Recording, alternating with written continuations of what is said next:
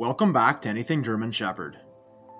German Shepherds are one of the most popular dog breeds in the world for a reason. They're smart, loyal, and beautiful. However, taking care of a German Shepherd puppy isn't easy and requires plenty of exercise and socialization. An 8 month old German Shepherd typically grows to be between 20 and 22 inches tall at the shoulders and weighs between 62 and 66 pounds on average. However, this may vary, and males are generally larger than females.